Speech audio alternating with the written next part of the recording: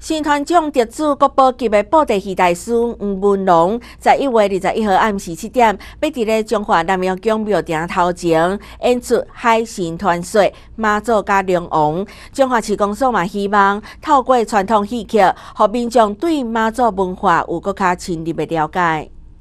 传统艺术将妈祖甲龙王。国家新团长地主吴文龙带领五江园江中剧团来了，吴家班这回将带来精彩的传统布袋戏表演。公演团来了。中华市长林世贤表示，回忆囡仔时代去庙口看戏的情景，十一月二十一号这个礼拜五，就伫南窑宫的庙埕，要用精彩的传统布袋戏表演，让民众对妈祖文化有更加深刻的了解。咱传统的布袋戏剧啊，吼。是有咱台湾足深的传统的文化甲故事吼，啊，咱黄海代第三代呃黄文龙啊吼先生啊，伊这第三代传人，员讲是啊传承啊咱台湾布地文化。啊足重要的传人吼，啊，咱伫浙江啊要来表演布袋。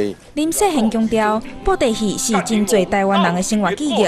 吴江园江中剧团是布袋戏大师黄海岱的第三代传人，邀请来南窑宫庙埕前演出是特别有意义。拄则互少年人重视传统戏剧文化，嘛足机会来宣扬妈祖婆慈悲大爱的精神。小招，咱十一月二一暗时七点大江新闻张世良讲话，采访报道。